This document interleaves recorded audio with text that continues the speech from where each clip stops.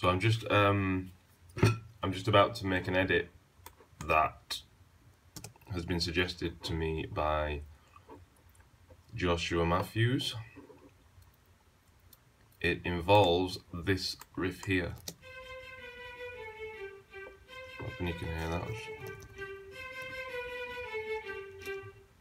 So rather than it being straight all the way through, he suggested that it goes up.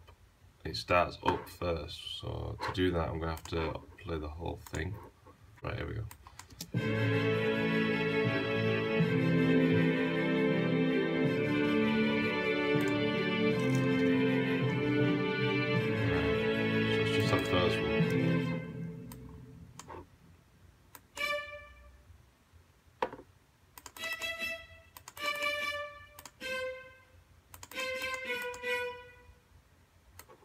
Something like that.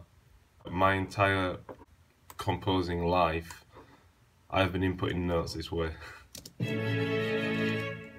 I see. That's does that work? That's just see. The thing is, you can never tell if something works until you listen to it through. I know that just hearing that that second set of notes, these are these ones here, you sort of think, ah, that's not gonna work. Well, I sort of think that, but actually, you know, it might. And it does. But I think I want more variation than just the first one.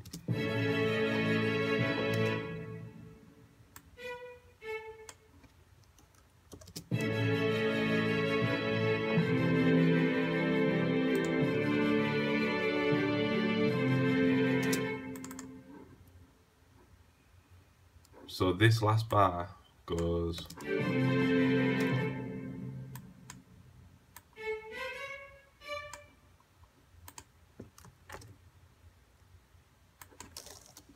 Get rid of that. So. Na na. Na na na. Why are we not getting audition? Normally auditions it.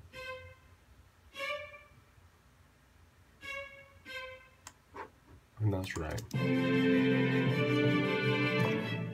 Yeah. So now, if I put that on a loop,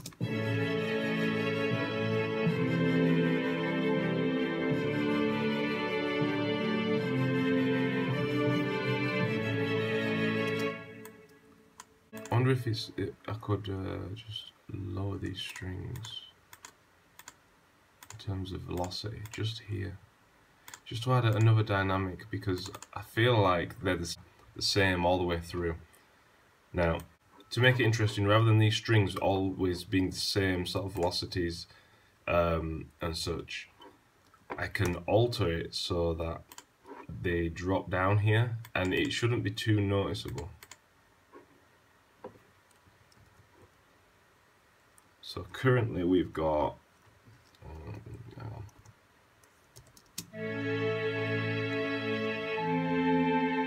It's up there. Now, if I draw a line down here, that's the velocity bars, by the way. Oh yeah, straight away. So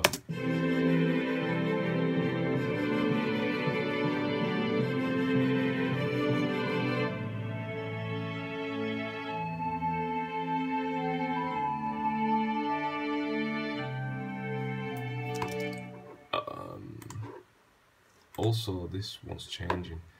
You see this note here? This note is sa- obviously it's the same note all the way through, and if you listen carefully now, you can hear it. It's like.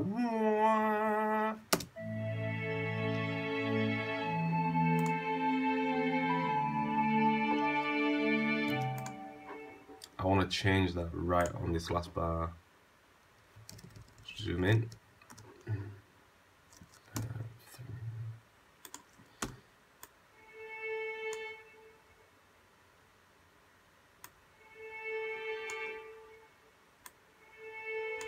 Something like that.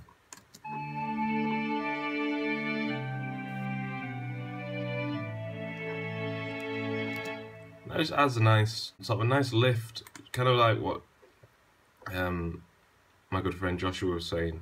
Um, you know, it just gives it this extra heroicness. That's now the same, except right at the end on these last four, I'm gonna start ramping the velocity. So rather than it being in a straight line, uh, just get it so you can see.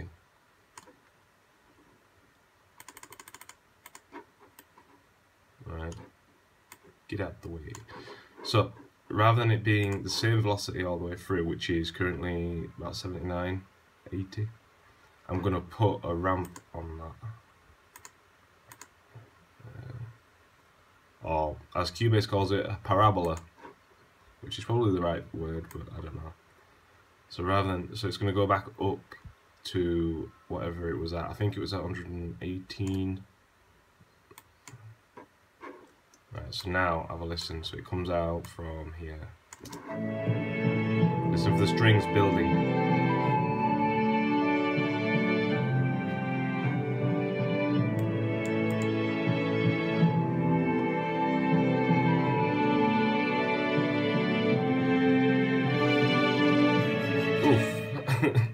A little bit high at the end.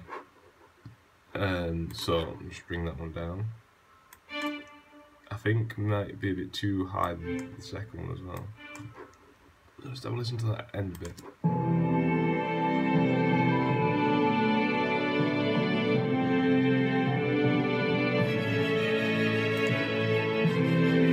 There we go.